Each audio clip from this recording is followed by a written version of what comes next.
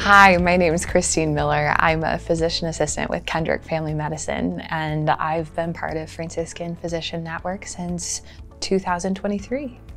Originally, I was going for a degree in physical therapy, actually, but I loved the way that physician assistants are able to work with patients and just became really interested in medicine from a really young age. I have a couple of family members and my my mom and dad are in teaching and my dad's a mechanic.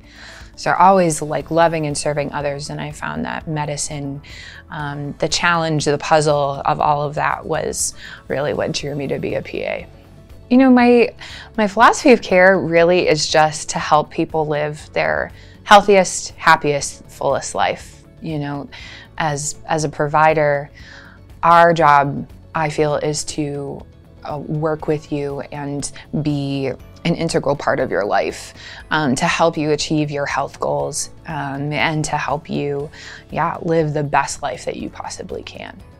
So my biggest passions are uh, women's health and mental health. These are two big areas that I feel like really influence patients' quality of life. I absolutely love the values of Franciscan. I get to take care of patients exactly where they're at. It's a very humble organization while also uh, being very dedicated to taking care of patients. When when I'm not at work, I love spending time with my family, and I um, I'm an artist, so I do. Um, uh, commissioned pieces and prints, and I love being a medical illustrator. I love weightlifting, uh, really into CrossFit right now.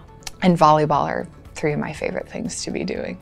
I think one piece of advice that I would give to patients is just to advocate for yourself. You know, this is your life and we're here to help you with it. So if there are issues that you feel very strongly about, uh, please bring them to us um, and we will do our absolute best to help you with what you need.